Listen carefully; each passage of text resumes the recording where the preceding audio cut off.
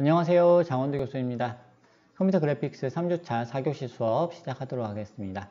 네, 이번 시간에는 어, 애니메이션과 double buffering에 대해서 살펴보도록 하겠습니다. 애니메이션의 기본 원리는 사실 대부분 알고 계실 거예요. 이제 비슷한 이미지를 빠른 속도로 이렇게 전환을 시켜주는 거죠. 맨 처음에 이 공처럼 공이 맨 처음에 여기 있었는데 그 다음 이미지에서는 여기로 가고 그 다음엔 여기로 가고 이렇게 공 위치가 조금 조금 조금 바뀌는 그런 이미지를 여러 장 계속 빠르게 바꿔주면 마치 우리 눈에는 공이 이렇게 움직이는 것처럼 이렇게 보여진다라는 거죠. 자, 애니메이션뿐만 아니고 이제 이런 동영상도 마찬가지죠. 제가 지금 화면에 나와서 이렇게 움직이고 있잖아요.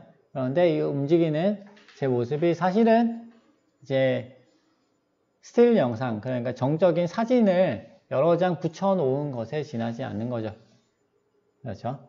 이제 그, 그 방식으로 이제 녹화가 이루어지고 그리고 여러분에게 전송이 되고 예, 여러분은 여러분의 컴퓨터는 핸드폰은 그 여러 장의 이미지를 빠른 속도로 재생하고 있는 거죠.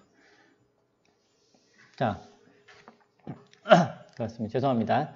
이제 어, 이렇게 지금 공이 작아졌다가 커졌다가 하는 부분이 그리고 위로 올라가는 다가 다시 내려오는 여섯 장의 이제 프레임이 지금 계속 반복적으로 이제 보여지고 있습니다. 그렇게 하니까 이렇게 공이 마치 튀기는 것처럼 보여집니다. 자, 그런데 이렇게 애니메이션을 혹은 영화를 여러분 이제 어, 의 컴퓨터에서 올바로 보여지게 하기 위해서는 한 가지 트릭이 필요합니다. 특히 이것은 이제 애니메이션 혹은 이제 컴퓨터 그래픽과 관련된 부분인데요. 이제 두 장의 이미지를 빠르게 교체를 해줘야 돼요. 빠르게 교체를 해줘야 됩니다. 그런데 이제 사실 오픈GL 여러분 이제 조금 공부를 해, 공부를 해보셔서 알고 계시겠지만 이제 어, 티폿을 하나 그리려면 사실은 굉장히 복잡한 라인들이 많이 들어가죠. 그렇죠? 그리고 설정해 줘야 될 것도 많이 있었어요. 한번 보실까요? 원래 이제 이런 게 있었죠. 메뉴 하나 그리기 위해서도 이렇게 많은 일을 해야 되고요. 그리고 이제 와이어 이제 디스플레이를 한 화면을 디스플레이 하기 위해서는 이런 함수들을 호출해야 되어, 해줘야 되고 모드가 무엇인지 체크를 해줘야 됩니다. 지금 wire sphere라는 이런 하나의 이제 함수를 사용해서 간단해 보이지만 지난번처럼 이제 점을 일일이 찍어 가지고 그려야 되는 경우는 더 복잡한 그런 계산들이 필요하겠죠. 만약에 reshape를 하는 경우는 또 이런 여러 가지 뭐 matrix도 계산해야 되고 하는 등등의 일들이 있습니다. 그래서 이런 계산들이 지금 사실 굉장히 단순한 그래픽 작업인데 이 정도 분량이 있잖아요. 그런데 만약에 더 복잡한 그래픽 작업, 만약에 그 뭐 축구 게임이라든지 혹은 뭐 자연을 실사 비슷하게 이렇게 보여주는 그런 어 게임이 있다라고 하면 그거를 일일이 이제 프레임 프레임마다 이걸 다 일일이 계산을 해가지고 화면에 뿌려주려면 계산 시간이 많이 걸리기 때문에 delay가 걸릴 수밖에 없겠죠. 이제 뻑뻑뻑 이렇게 움직이는 거죠. 움직일 때 이제 뭔가 delay가 걸리는 거죠. 뭐 lag이 걸린다 뭐 이런 표현도 쓰죠. 자, 컴퓨터를 좋은 컴퓨터를 쓰고 좋은 GPU를 쓰면 좀 낫겠지만 그래도 이것을 피하기가 쉽지가 않은 거예요. 그래서 이제 이것을 해결하기 위해서 나온 기술이 double buffering이라고 하는 기술입니다. 이제 double buffering은 뭐냐면요. 이제 어, 그러니까 이게 delay가 걸리면서 이게 어떤 현상이 벌어지냐면 위쪽부터 계산을 해가 위에서부터 쭉 내려오잖아요. 그러면 이 계산하는데 시간이 걸려가지고 이게 막 어, 한 프레임 나오고 그 다음 프레임이 나와줘야 되는데 그 다음 프레임이 한꺼번에 안 나오고 이제 위쪽에는 이전 프레임이 새 프레임이 나오고 밑에 아래쪽에는 옛날 프레임이 나오고 이런 이제 일들이 벌어질 수 있는 거죠. 그래서 이런 것들 좀 막아보자 하는 차원에서, 나, 하는 차원에서 나온 것이 double buffering인데요. 이 double buffering 같은 경우는 buffer에다 계산을 미리 다 해놔요. 그래서 어, teapot이 여기 들어가야 되고 여기는 뭐 사각형이 들어가야 되고 여기는 cone이 있어야 되고 이런 cone이 이만큼 돌아가 있어야 되고 이런 부분들을 미리 다 계산을 해놔요. 계산을 해놓고 이제 최종적으로 뭐 T4 이렇게 하면은 사실 3차원 이미지이기 때문에 복잡하잖아요. 그런 거 말고 이렇게 모니터 화면에 표시해야 되는 2차원 이미지를 미리 딱 계산을 해가지고 지정을 해 놓습니다. 그것이 버퍼예요. 그래서 이제 buffer를 두 개를 만들어 놓고 맨 처음에 이제 한 front buffer, 요 front buffer에다 그림을 다 그려놔요. 그리고 요거를 front buffer를 화면에 표시합니다.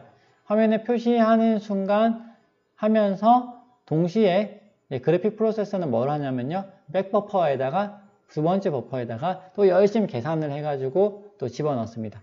그리고 이 작업이 끝나면 다시 얘가 video controller는 이걸 스위치 해가지고 다시 back buffer에 나온 거를 이제 화면에 보여줍니다. 그래서 이걸 이원화하는 거예요. 간단하게 말씀드리면 이제 버퍼가 두 개가 있어가지고 요 두 개에다가 열심히 어, 계산을 해가지고 그려, 그려 놓습니다. 그려 놓고 그 다음에 모니터에 보여주는 건 맨 처음 요걸 보여주고 그 다음에 요걸 보여준 다음에 그 사이에 시간 좀 벌면서 요걸 또 계산해가지고 또 보여주고 그 다음 또 여기 보여주고 이런 식으로 스위치하면서 보여주는 것이 기술이 더블 버퍼링이다. 이런 식으로 double buffering을 쓰게 되면은 화면에 깜빡임이라든지 이렇게 어, 이전의 영상과 이전의 프레임과 현재의 프레임이 겹쳐져 가지고 보이는 그런 일들을 방지할 수 있다라는 겁니다. 자, 이 double buffering을 써가지고요. 이제 화면에다가 애니메이션을 한번 만들어 볼 건데요. 이 애니메이션 같은 경우는 어, timer callback이 필수적입니다. 자, 책에 보시면 idle callback이라고 있거든요. idle callback은 아무것도 안 할 때 불려지는 callback이에요. 근데 사실 어, 우리가 크게 이제 유용성은 없기 때문에 idle callback에 대해서는 따로 실습은 안 하고 넘어갈 겁니다. 그리고 바로 timer callback으로 넘어갑니다. timer callback은 시간을 지정해 놓으면 해당 시간마다 이 함수가 불려져요. 무슨 얘기냐면 제가 20ms 이렇게 놓으면 매일 20ms마다 이게 불려진다는 얘기예요. 자, 100ms 이렇게 하면 100ms마다 불려져요. 그러면 1초에 몇 번 불려질까요? 네, 1초에 10번 불려지죠. 자, 애니메이션처럼 보이게 하기 위해서는 최소한 보통 부드럽게 보이게 하기 위해서는 적어도 20프레임 정도는 들어가야 됩니다. 그러면 네, 50ms 이하로 이거를 불려야 되겠죠. 자, 그럼 이걸 실습을 한번 해보겠습니다. 책 207페이지에 있는 코드를 그대로 이제 실습하시면 되겠습니다. 자, 여러분은 책을 이제 보시면 이제 코드가 있으니까 어, 타이핑을 하시고요. 여기 잠깐 멈춰 놓으시고 타이핑하시고 그다음 실행시키시면 되겠습니다. 네, 저는 여기서 이제 바로 어, 한번 해보도록 하겠습니다. 네, 코드를 여기 미리 해놨거든요. 가져와 놨으니까 얘를 어, 넣어서 실습을 해보도록 하겠습니다. 새로 만들기 프로젝트 네, 빔 프로젝트로 넣었습니다. 이크 03 EX 03 타이머 타이머만 하죠. 자, 이렇게 놓고 속성 관리자에서 기존 속성 시트를 추가를 해주고요. 다음에 소스 파일에서 새 항목 네, 가져와서 이거를 제가 붙여 넣었습니다. 그 다음에 네, DLL 파일을 가져와서 네, 붙여 넣었고요. 그러면 이제 이거를 실행시킬 수가 있죠. 실행시켜 보시면 어떤 일이 벌어지냐면요. 네. 네, 보이시나요? 지금 사각형이 오른쪽으로 이렇게 이동을 하고 있습니다. 자, 애니메이션이죠. 지금 보시면 40ms마다 이게 잘 불려지면서 이동을 하고 있어요. 자, 지금 네, 이렇게 계속 잘 이동을 하고 있는 것을 여러분이 확인할 수가 있습니다. 지금 요거 코드 같은 경우는 사실 이제 그 어, reshape callback이라든지 뭐 이런 부분들이 이제 전혀 이제 작성이 되어 있지 않기 때문에 그냥 간단하게 이제 어, 화면을 키워도 이제 그 다음 움직임이 보이지 않고 이제 얘가 그냥 크기가 커져 버리는 그런 걸 볼 수 있죠. 여러분이 이제 그전 어, 이전 시간에 했던 실습 내용들을 기억을 하시면 이걸 쉽게 수정하실 수 있을 거라고 생각을 합니다.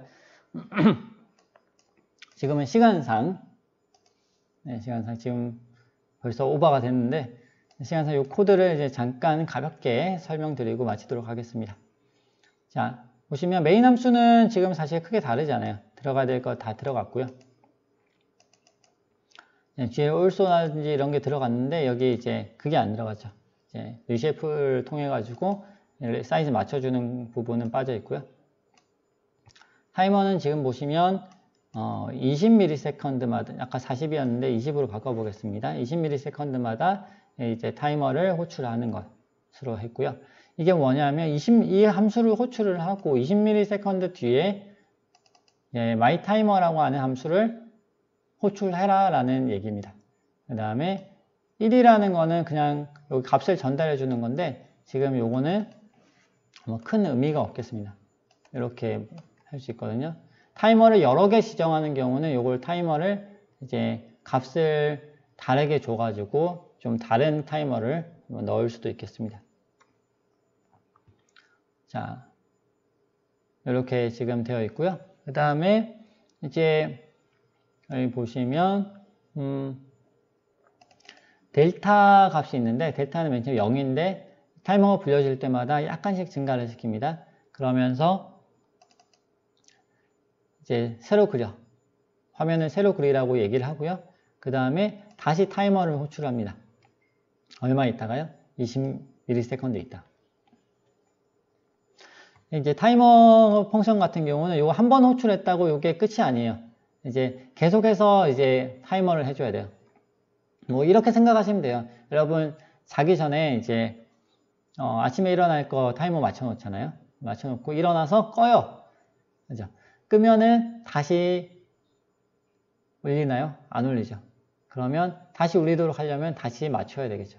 그래서 예를 들어서 타이머를 여러분 핸드폰에 뭐 5시간 이렇게 맞춰놨다. 이렇게 하면 5시간 뒤에 울리고 끄면 끝인데 끈 다음에 다시 5시간 뒤로 다시 세팅을 해 놓으면 5시간 있다가 다시 올려지는 거죠. 이거를 5시간, 뭐 4시간 이런 게 아니고 20ms 단위로 이걸 계속 반복을 하는 거예요. 자, 20ms로 이렇게 반복 줄이면 얘는 더 빠르게 움직이겠죠? 아까보다는 이렇게 빠르게 이렇게 움직여지고 있는 것을 보실 수가 있습니다. 네, 이렇게 이제 지정이 되어 있고요. 요거를 뭐 시간은 그대로 하고 이제 움직이는 양만 좀 빨리 하겠다. 그럼 요 값을 수정하면 되겠죠. 네, 이렇게 네, 움직이는 것을 확인하실 수가 있겠습니다. 자, 이렇게 하시고요. 그 다음에 그 책에 보시면 타이머 callback이 한, 어, 코드가 하나 더 있어요. 그래서 하나 더 있는데, 자, 이 코드는 이제 여러분이 이제 과제 여러분의 과제를 드리겠습니다. 과제에 대해서는 제가 나중에 좀 더 자세하게 설명을 드리도록 하겠습니다. 예, 아까 제가 설명을 안 드린 것 같은데 그러고 보니까 마음이 급해서 여기 델타를 이제 타이머마다 타이머가 불려질 때마다 델타를 계속 이제 어, 더하잖아요. 더해 나가는데 0이 됐다가 0.01이 됐다가 0.02가 됐다가 이런 식으로 늘어나죠. 늘어나는데 여기 보시면 이제 그 움직, 움직이는 값에 따라 가지고 변화하는 값에 따라 가지고 사각형을 그려주는 위치를 바꿔줍니다. 자, y좌표, z좌표는 그대로 두고 x좌표만 지금 바꾸죠. 네, 이런 식으로 x좌표만 그 특정 값을 더해줌으로써 이동하는 것처럼 이동 실제로 이제 이 사각형을 이동을 시키는 거죠. 자 어, 여기까지 이제 어, 이런 callback 함수들에 대해서 이제 잘 설명을 드렸고요. 원래는 이제 오늘 어, 정점 배열하고 이제 디스플레이 리스트까지 하려고 했는데 아무래도 오늘 이제 다음 시간으로 미뤄야 되겠습니다. 네, 오늘 장시간 또 같이 수업하시느라고 수고 많으셨습니다. 감사합니다.